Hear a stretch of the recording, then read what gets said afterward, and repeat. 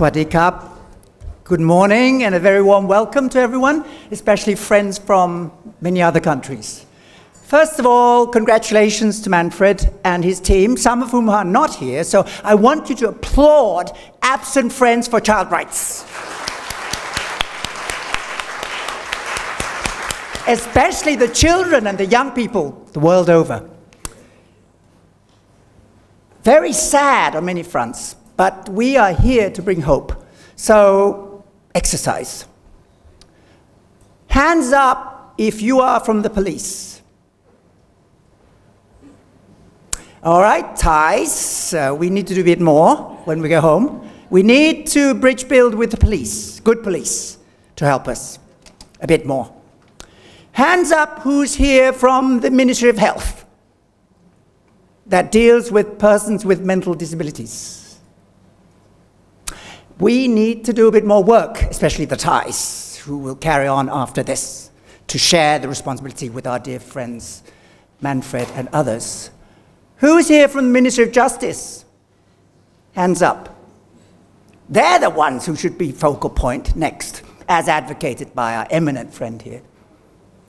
Hands up who's here from the military that I have to work with sometimes to bridge build. Hands up. Hands up who's here from the Ministry of Interior. Hands up. So UNICEF and us locally and others, we have to work a bit more, please to bridge build, to carry over the wonderful work undertaken by our friend Manfred, to be fair and to respond well to the children who are not here. Because when the children are not here so much, the others who can't are also not here so much. And they all need to be here, either here or there or somewhere together with us in terms of follow up. So that is the exercise in terms of physical commitment to follow up that we need to take over as our humble responsibility next. Having said that, let me now enable you to relax with three observations, sort of, six suggestions, and then maybe six orientations, but preceded by two anecdotes. I visit children's prisons and hostels once in a while. And once upon a time, I went to a closed institution. And when the supervisors were not there, we got talking with the young people who shouldn't have been there at all. And ultimately, we talked about violence in the institution. So I said, Well, when, when does the violence take place? What's the violence? So this young boy said, Well, actually, it takes place before bedtime when the supervisor's is not around. The bullied sort of gang phenomenon within that borstal. So the lesson learned from there was and is that we are dealing with a culture or subculture of violence through institutionalization, which has long-term impact, sadly. So please, let's not forget that especially those who deal with institutions, beware of a culture or subculture of violence, which is inherently there by the very fact that people are locked up with a certain power relationship, abused, misused here and there. That was in a developing country. And then this very uh, concrete air conditioned facility in a developed country. And there I was with this young man in this room. There was no window, it was all artificial lighting, and this boy was let out into the gardens once in a while. So I sat there talking with him, and I said, Well, I mean, what, what might you wish for, so to speak, you know, even in this environment? So he pulled out these little sketches and paintings from under the bed in this room, air conditioned, where there was no window, and there was no window around at all. And all the pictures were about colors, environment, sun, sea. It made me or makes you wonder about how we enable people to heal a bit. In other words, if you really wish to enable to, people to rehabilitate and heal, we need to nurture a responsive, transformative environment that's dignified, that enables people to regain their self esteem, have a purpose in life, to care and to be cared for. So that was also my lesson from visiting an air conditioned facility in a developed country, which at that time imposed the death penalty on those under 18 years of age. Two anecdotes. When we come then to three observations, uh, particularly concerning Dear Manfred's study, um, the team has done a fantastic job scientific, uh, empirical, participatory. And I want to highlight the fact, first of all, that the finding that there are roughly 1.5 million kids deprived of liberty per year, de jure, has to be multiplied several times, five times maybe, sadly, in reality, in terms of what's known as de facto. And if you read the full report, which I've read on the internet, you will find the methodology, which you don't find so much in the 20, 30 page report. And the methodology there is called regression analysis. And I would like UNICEF and others to enable us to build on this to help us generate data at the local level through accessible methodology in terms of statistical computation and estimation. And I think that's very valuable offshoot methodologically from the study. Secondly, to be fair to the study, as has been said, the study is about state related institutions and deprivation imposed on the child or linked with the child. It does not cover family situations. It doesn't pretend to cover situations where the girl child is locked up by a family in a conservative setting and not allowed out or punished at home or whatever.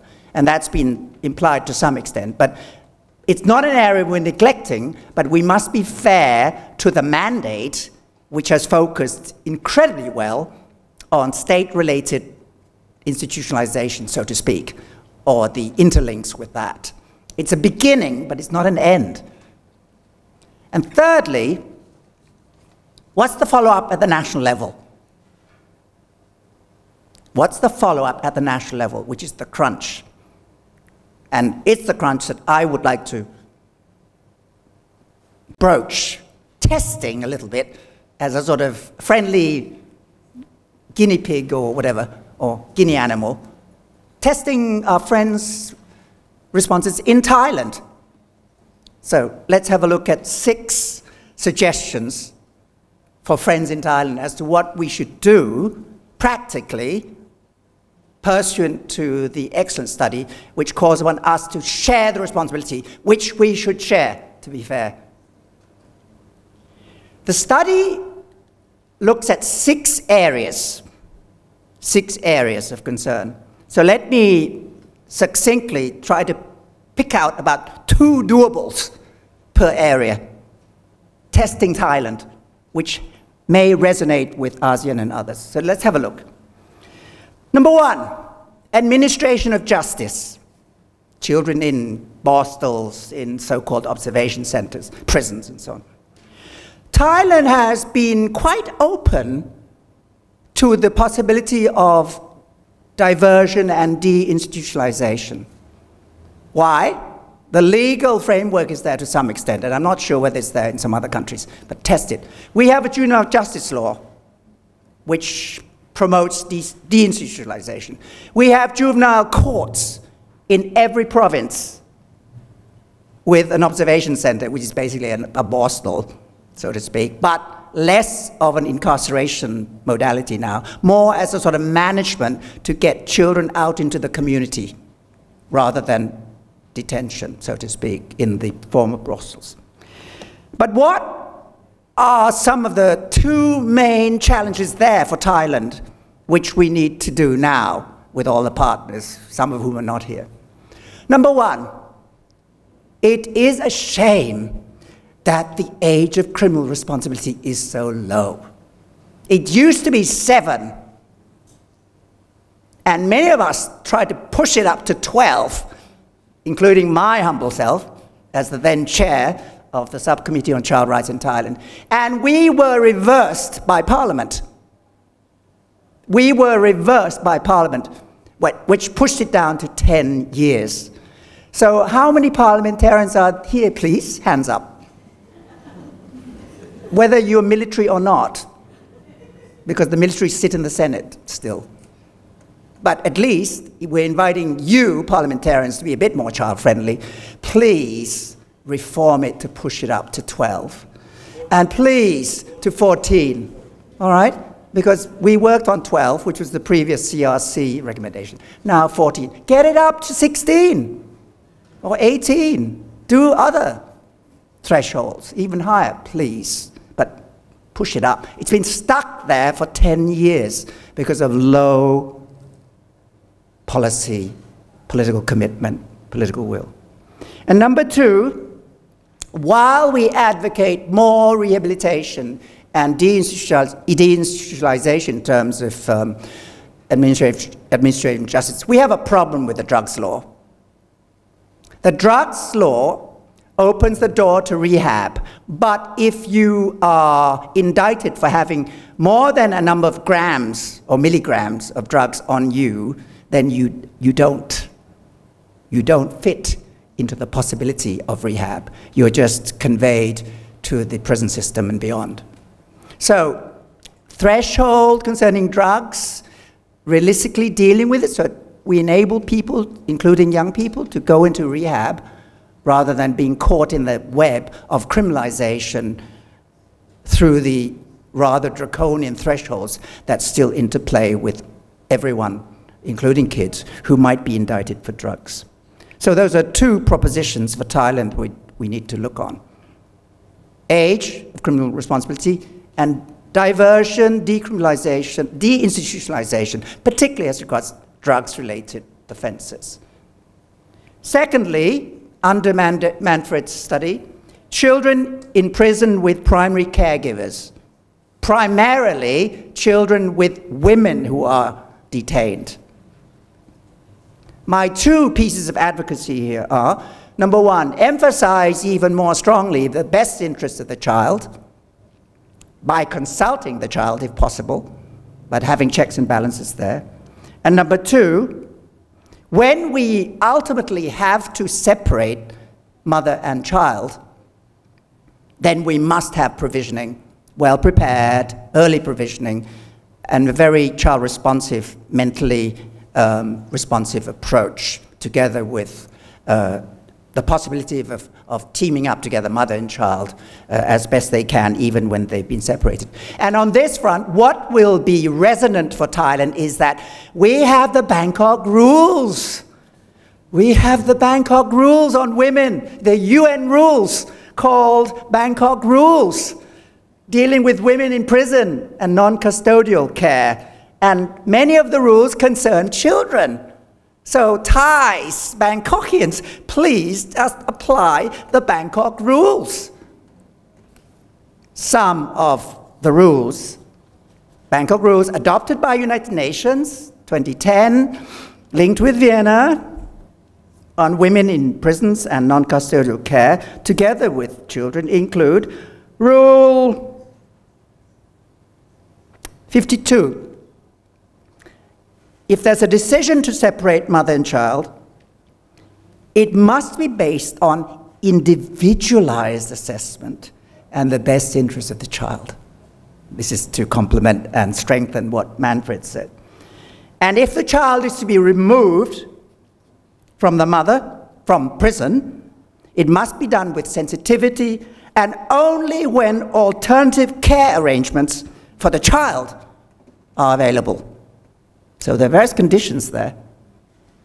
And once separated, there must be maximum possibility for the mother and child to meet based on the best interest of the child. But you know, Thai law also is quite odd on mothers who are incarcerated.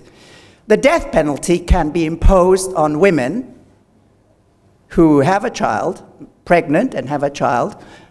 It can be suspended for three years after the birth of the child. It can be suspended. But if the child dies during that period, the mother can still be, in law, punished by the death penalty. Very odd law. I don't know who drafted that. So the suspension is very much contingent upon the child's survival after three years. Uh, I would have thought the better way to be would be to do away with the death penalty altogether, uh, not only for pregnant, pregnant women, but also for women who give birth uh, as a whole. So those are some examples from the Bangkok rules as well as some of the anomalies that still interplay with us. Thirdly, migration related. Thailand last year adopted the MOU to bring children out of the immigration, call it detention or whatever system, which is good, which is good. And now Thailand is to implement a screening procedure for what internationally we call refugees to offer protection in terms of temporary asylum, which brings to mind two pieces of advocacy relevant here. Number one, please make sure that we get the whole family out of immigration detention. At the moment, the emphasis is on mother and child under 18 years, but we want families to remain together so don't forget the father, please. Please try to enable them to stay together. Shift the lodging to shelters run by the Social Development Ministry. Anyone from Social Development Ministry? Hands up. And make sure they're together. And personally, I do not think immigration related contraventions should be seen as crimes. They are just administrative infractions. They're not crimes. I mean, these good people who come in without visa, without permission, should not be treated as criminals, especially if they've been escaping from warfare and persecution. So let us implement the MOU in a humane, comprehensive manner to cover the whole family and help immigration officials by shifting that burden towards the shelter run by the social development people well. And secondly, in view of the forthcoming screening procedure for so-called refugees in Thailand to be implemented in a few days' time, please don't forget that the child under 18 might also be applying for protection under the screening. So please listen to the child, work on the best interests of the child, and abide by the guidance of the UN, UNHCR on unaccompanied minors and beyond in terms of basic protection. Fourthly, the question of institutions. Children in institutions, so called homes, so called maybe even hospitals sometimes, uh, which are walled. The thrust in Thailand is to move towards deinstitutionalization and diversion. But there are anomalies which deserve good advocacy. Number one, big issue on those with mental disabilities, including children. This does not fall immediately under the general Persons with Disabilities Empowerment Act which tries to follow the Convention on Persons with Disabilities. But the issue of mental disabilities falls under the Mental Health Act, which is a different configuration. And under that, there are various measures which are still on the books, such as maybe straitjackets, maybe electric shocks, and so on, some of which are referred to in Manfred's study. So please, please work well on the issue of persons with mental disabilities. And let's work well with the Ministry of Health to find other ways. And this affects ASEAN as a whole. ASEAN, please do a study on persons with disabilities, particularly mental with disabilities. This is not just a wheelchair issue, it's a straitjacket issue too, which has to be dealt with well. And secondly, let's move towards good community support for alternative care, as well as monitoring of state institutions, which are not necessarily prisons, but they could be homes here and there, so called homes under various laws where people are institutionalized. This is already advocated by the CRC Convention. Fifth, the issue of armed conflicts. As has been said already, we're not talking about incarceration by terrorist groups, but when kids are transferred to state facilities, so to speak. And of course, of course, you're back to square one as to how to deal in war situations with people who are incarcerated as a whole. And civilians, including kids, should not be incarcerated. And there we have guidance in terms of demobilization needed also of those who might be involved in the conflict. And treat the child as a victim is key. Whether in peace or in war, but particularly in war, there when they are incarcerated, together with a very difficult issue of what do we do with the children of terrorists in terms of repatriation to the countries of origin, which is not settled at the moment as an issue. And last but not least, national security. Well, if we advocate national security, I tend to advocate that national security has to be seen as an exception to human rights rather as a rule over human rights. In other words, if states invoke national security, they must provide justifications. And in real terms, there are two pieces of advocacy which are needed here, which were aired before the Child Rights Committee already. Number one, on national security and children incarcerated. Precisely because in southern Thailand and at, at times the whole of Thailand is under emergency law, such as the martial law Emergency Decree, Internal Security Act, and various military orders, which are still on the books.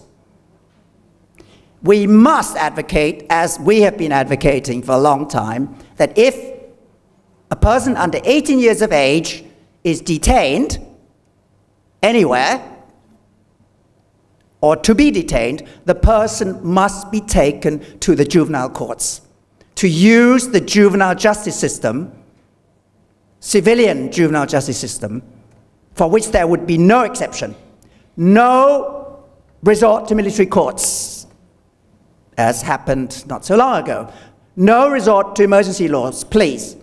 Just use ordinary law. We're not against discipline, but use ordinary law, which is based on international standards, particularly the Juvenile Justice and Juvenile Courts Act that we have which has now been bolstered by a rehab law two years ago, which opens the door to community programming as well as family supports, as well as a managerial position for the courts and the previous borstals to decentralize and deinstitutionalize. And last but not least, on national security, for those under 18, the starting point must be that we have to look at them as victims. Give kids a second chance even when they are apprehended for national security reasons. And in this country, like many other countries, there are too many impositions in terms of national security laws to date. So those are six areas in terms of suggestions. And very finally, succinctly, hopefully, last but not least, well, what do we do with the Thais to follow up from Manfred's wisdom? Well, number one, in terms of national focal point, which is advocated in the big report. It has to be interagency. But who, who is obviously to be part of interagency? Well, it's all the ministries that I've just voiced who are not here at all, except one. One good policeman, welcome. We need all the other agencies here Ministry of Health, MOI. What about the military, the judge advocates' chambers, the ones that I have to advocate all the time? Um, don't lock kids up under emergency law, please shift to the juvenile justice system. Effective, comprehensive interagency response, very important. And in terms of complaint system, the Human Rights Commission accepts complaints from children too, so bring them on board too. And Thailand's a party to the Protocol 3 of the Child Rights Convention, which opens the door to communications of the Child Rights Committee. Number two, national policy is not that difficult. All these Southeast Asian countries, they have national policies. We're not lacking in words. We have a national policy. We have a human rights agenda in Thailand that covers children. It's not difficult to integrate in theory, but what is difficult to integrate is in implementation. And look, they find SDGs very sexy. So every country now fashionably integrates SDGs into their national policy. But ESCAP UN evaluation two years ago pointed out that with regard to SDG 16, which covers violence against children and human rights and rule of law, there has been regression in the Southeast Asian system. Instead of lowering, reducing people locked up, unsentenced prisoners, there has been a climb in unsentenced prisoners in Southeast Asia.